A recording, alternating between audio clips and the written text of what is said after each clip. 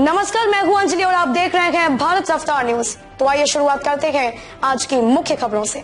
Shikarpur ward number 35 Lavkush Pandit, जिला उपाध्यक्ष भाजपा युवा मोर्चा। पूर्व वार्ड नंबर 35 प्रत्याशी भाजपा ने गाँव जाकर जनसंपर्क करते हुए बताया कि अगर भारतीय जनता पार्टी से मुझे टिकट मिलेगी तो आपके बीच में ज़रूर आऊँगा। बरखेड़ा, चोडेरा, मोतीपुर, दिवला खेड़ा पंद्रावल गाँव के लोगों ने लवकुश पंडित का समर्थन किया।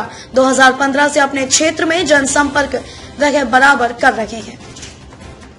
शिकारपुर से दिनेश शर्मा की रिपोर्ट। और ज़िले के के लिए मेरे हमारे भी वरिष्ठ नेता और इस वार्ड नंबर पैंतीस के संयोजक, हमारे शाखा जी और मेरे बड़े भाई शर्मा जी और सभी मेरे सम्मानित और मेरे सामने बैठे, सभी मेरे के साथियों बुज़ुर्गों नौजवान भाइयों, साथियों, सभी को मेरा सादर प्रणाम, सभी को मेरा नमस्कार, सभी को मेरा राम राम।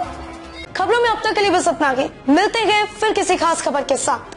अगर आपको हमारी वीडियो पसंद आई हो तो लाइक कमेंट व शेयर करें।